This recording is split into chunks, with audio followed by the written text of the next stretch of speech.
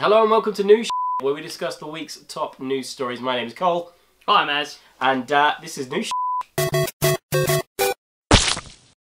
First off, in news, we recently this week had news of Iron Fist casting, which you've been waiting for months for.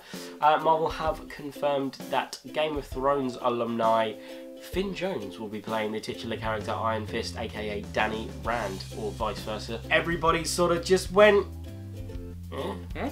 Yeah? Alright, Yeah, fine, whatever. A small sector of the internet also kicked off that the titular character will not be being played by an Asian American actor. Although, if you go back and read the source material, Iron Fist is in fact Danny Rand, aka the white heir to a billionaire fortune. You know, you don't have to be an Asian American person to do Kung Fu. Particularly if you are the conduit to some kind of mystical Chinese power force. Obviously, we know Luke Cage isn't filming now. Does that necessarily mean that Danny Rand might have some kind of cameo in the upcoming Netflix series? We shall have to find out.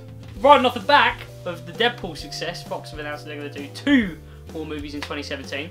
They haven't said what these movies are going to be yet, but I think we can stab a little guess. There's going to be an X Force movie in there somewhere, and I assume Deadpool 2, if they get the ball rolling on, on that straight away.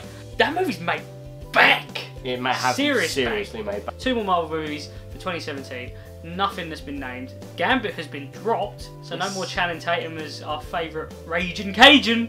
We know we've got another Wolverine movie on the way, but that isn't next year, um, as James Mangold's busy. He is. Uh, directing. That, that Disney film, film. that Disney film that he's doing.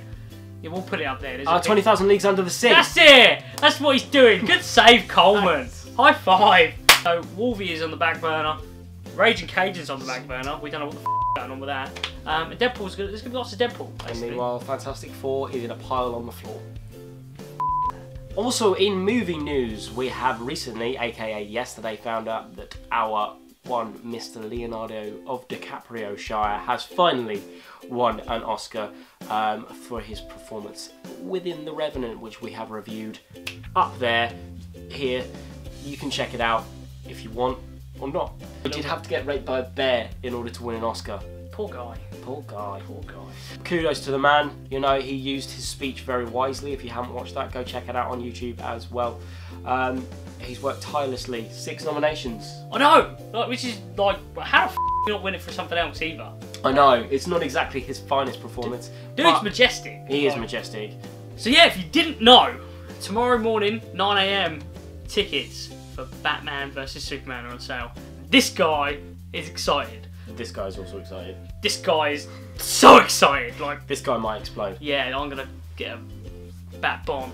Um, so tickets are on sale tomorrow at 9 o'clock tomorrow morning. Film's out March 25th, which is a bank holiday, which is splendid. So you have no excuses not to go and see it and make sure that that. if you don't go see it that weekend, you're a dick.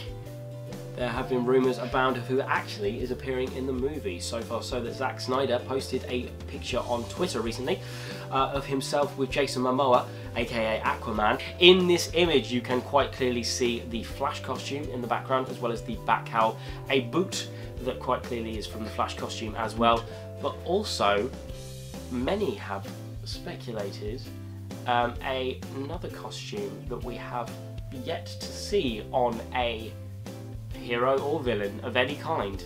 Rumours have been abound that this could perhaps be a Nightwing costume, uh, or even a Aquaman villain costume, as Aquaman's costume can be seen in the background as well. If you have any other ideas of who it may be, please sound off in the comments below. They're down there. Likewise with all of our videos, if you drop us a thumbs up, give us a cheeky subscribe, and uh, give us a word up because we're always here for you, coming at you.